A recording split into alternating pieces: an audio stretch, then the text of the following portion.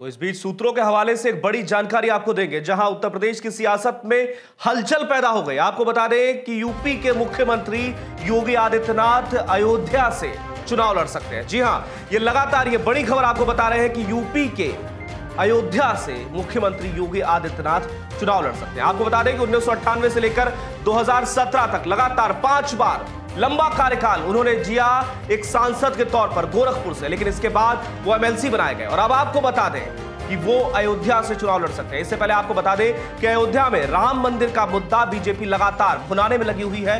वहीं दूसरी ओर, अब ये खबर सूत्रों के हवाले से हम आपको बता रहे हैं कि सीएम योगी आदित्यनाथ अयोध्या से चुनाव लड़ सकते हैं। जी हाँ, ये बड़ी जानकारी आपको दे रहे हैं, जहाँ एक तरफ़ कयास लगाए जा रहे थे, अटकलों का बाज़ार गर्म था कि सीएम योगी आदित्यनाथ कहाँ से चुनाव लड़ेंगे? तो अब ऐसे में यह चीज़ सूत्रों के हवाले से आ रही है कि सीएम योगी आदित्यनाथ अयोध्या से चुनाव लड़ सकते हैं। आपको बता दें कि 2017 से पहले वो गोरखपुर के सांसद थे, लेकिन 2017 में मुख्यमंत्री बनने के बाद वो एमएलसी बन आए। लेकिन अब आपको बता दें कि अब 2022 के उत्तर प्रदेश विधानसभा चुनाव में वो अयोध्या से चुनाव लड़ सकते हैं। तो इस बार ये देखना अहम हो जाएगा कि अयोध्या से अगर सीएम योगी आदित्यनाथ चुनाव लड़ते हैं तो फिर ये कितनी सियासी उठापटक को जन्म देता है। लेकिन फ़िलहाल आपको बता दें कि सूत्रों के हवाले से यह खबर जो कि आ रही है और जहाँ यह स्पष्ट संकेत मिल रहे हैं कि सीएम योगी आदित्यनाथ अब अयोध्या से चुनाव लड़ सकते हैं।